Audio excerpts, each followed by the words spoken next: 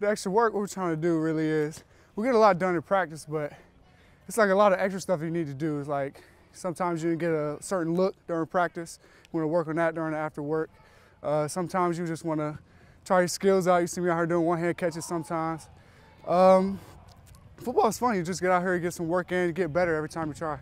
Camp has been good. Um, the energy level has been good. Uh, you know, we had a couple laws in there, but that's kind of expected a little bit. But uh, guys are working. We mainly come out and get extra work just because you know it's always a look that we didn't get, or it's always something where you know, oh, I seen this during practice. Let me work on this before tomorrow, or you know what I mean. It's just always getting better, and you know, just because mm-hmm. you did it and you, you know what I mean, like how you did it, doesn't mean you always can't get better. So it's just you know perfecting our craft a little bit. You know, being player motivated instead of coach motivated.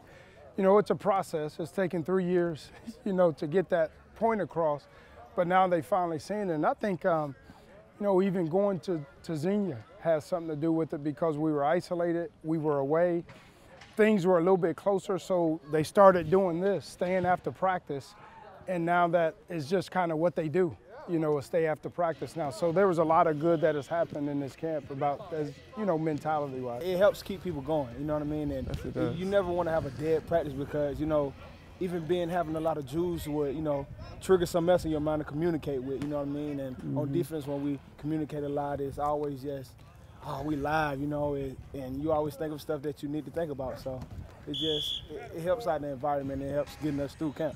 Definitely does. It's a new feel. Make sure you're getting your rest. We don't want you out here, and we appreciate, we don't want you out here having another hour of practice, okay? 20 minutes is long enough. Get out here and then get some get some meat and then get some rest. All right. Practices are tough. It's not like they're not working and they just got a bunch of energy left. It's what they want to work on a little bit extra. So um, it's almost to the point where right now is too much. You know, I go walk after practice for 30 minutes. I go take a shower and I come out and I still see guys out here. You know, so you know, we just got to make sure that they're doing it the right way, still getting their rest and still doing the things that they need to do. So when we come out here in the afternoon, they're fresh. It's definitely a new culture. Yeah. Definitely, yeah. definitely a new culture. We're hungry, hungry, definitely hungry. We can't have another season like last year. We're just striving to be the best for real. See, they got us down in the rankings or whatever, man. We're not with that. Trying to win the MAC this year, so we're hungry. Yeah, you know, Haynes always, Coach Haynes always says, two and nine to greatness. So you can't, you know, be great from going just from practice. So, I mean, it's helping us a lot, you know. Got to do the little things. Tight, tight, tight. tight, tight, Here we go. Family on three. One, two, three. Family.